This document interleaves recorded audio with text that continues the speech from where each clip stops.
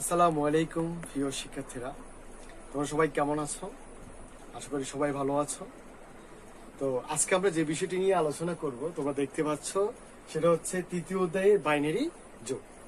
তো আমরা যে তোমার ডেসিমেলে যোগ করেছি, সেটা থেকে অনেকে বাইনারি যোগটা কঠিন মনে করে, কারণ সেখানে কিছু সূত্র অ্যাপ্লাই করে।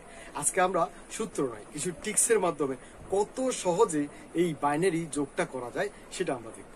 এবার আরেকটা মজার ব্যাপার তোমাদের বলে রাখি।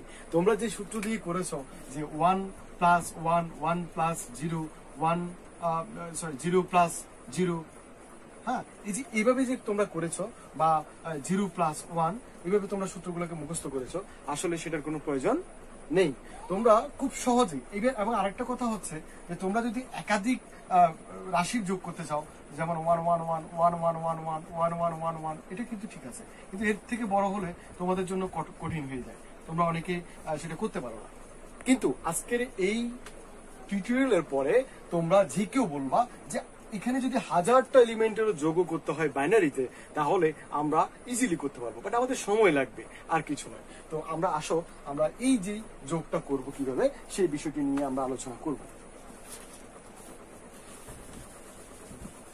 তো এখন আমাদের তো টিক্সটা জানতে হবে। সূত্র যেহেতু নাই টিক্সটা জানতে হবে। টিক্সটা কি? আমরা টিক্সটা দেখি।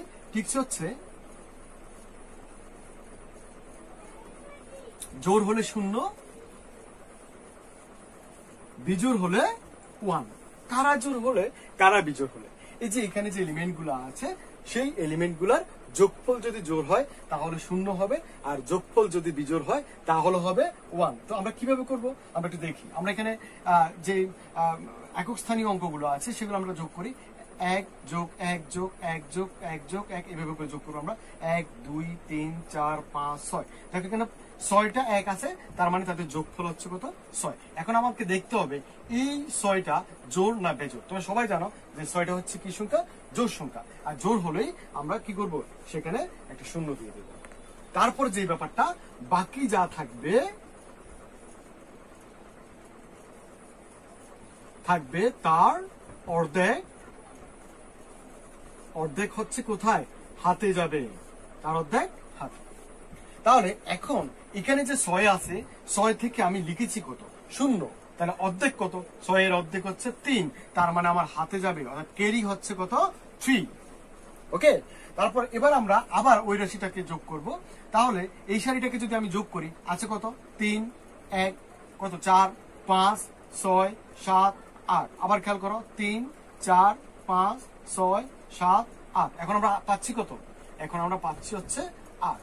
এইট পাচ্ছি আমরা। ওকে তাহলে যে এইট পাচ্ছি এইটটা কি জোন না বেজোর এইট যেহেতু জোর সংখ্যা, আমরা সবাই জানি এটা হচ্ছে কি জোর সংখ্যা। সো আমার এখানে বসবে কি? শূন্য। কারণ আমরা বলেছি জোর হলে কি বসবে? শূন্য বসবে। আর বাকি যা থাকবে পুরোটাই কিন্তু বাকি আছে। সো অর্ধেক হচ্ছে কত? চার। তার মানে কেরি হচ্ছে কত? ফোর এরপরে আবার আমরা যোগ করব। চার। চার একে পাঁচ, ছয়, সাত আট নয়। তার মানে আমরা কত পাচ্ছি? Nine four five six seven eight nine তার মানে আবার পাচ্ছি নাইন পাচ্ছি আমরা। কত পাচ্ছি? নাইন নাইন কি আবার? ইভেন মানে জোর সংখ্যা। তাহলে সরি অড তার মানে কি? বিজোর সংখ্যা। তো বিজোর সংখ্যা যদি হয়, বসবে কত? ওয়ান যদি ওয়ান বসে যায়, তারা আছে কত? আর এইট এইটের অর্ধেক কত? ফোর তার মানে হাতে কত যাবে? ফোর যাবে। আবার যোগ করো, চার একে পাঁচ, ছয়, সাত, আট, নয়, দশ। এবার আমরা কত পাচ্ছি? দশ পাচ্ছি। ওকে তোমরা চাইলে এখানে দশের সরাসরি বাইনারিতে বসিয়ে দিতে পারো, অথবা তোমরা যেটা করতে পারো, এই যে দশ, যেহেতু জোর সংখ্যা সো এখানে বসবে কত? শূন্য। আবার দশের অর্ধেক কত? পাঁচ। এখন এখানে কেরি আছে কত? পাঁচ। এর সাথে কিছু নেই, শুধু পাঁচই আছে। তার মানে পাঁচটা বিজুর বলে ওয়ান বসবে। আবার পাঁচের অর্ধেক কত? পাঁচ থেকে তো এক বসে গেছে। তার তার মানে তার অর্ধেক হচ্ছে কত?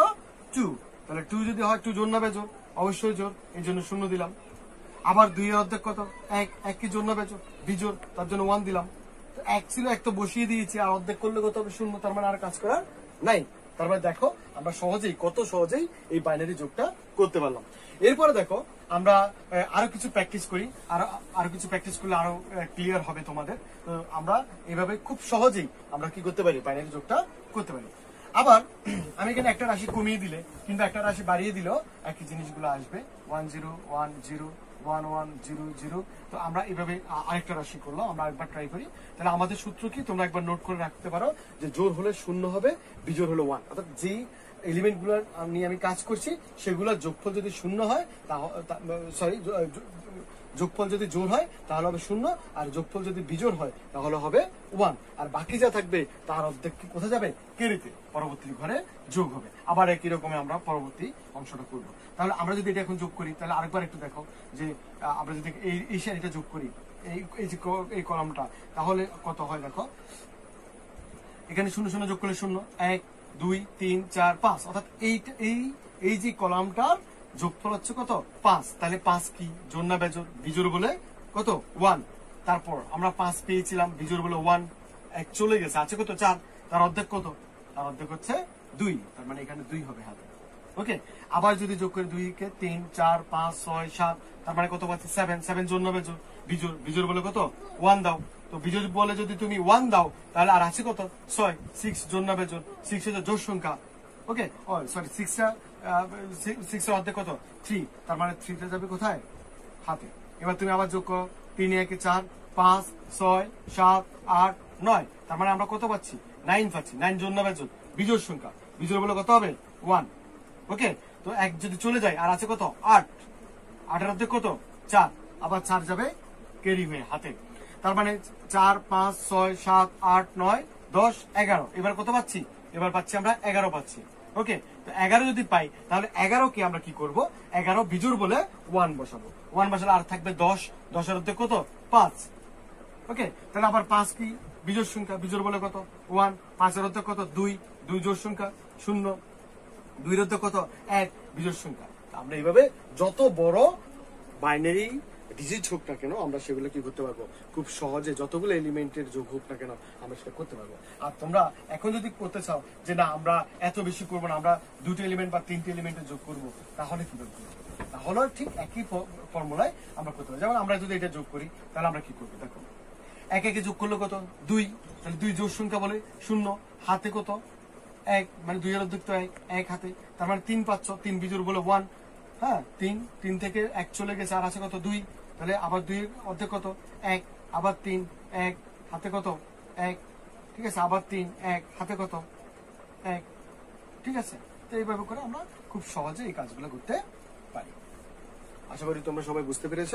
আর যদি কোনো কিছু বুঝতে না পারো, তাহলে অবশ্যই কমেন্ট করো, আমরা সেটা সলিউশন করে দেবো।